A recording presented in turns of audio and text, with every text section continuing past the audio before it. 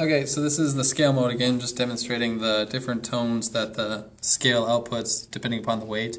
And we have it set to each pound, it'll output uh, a different tone.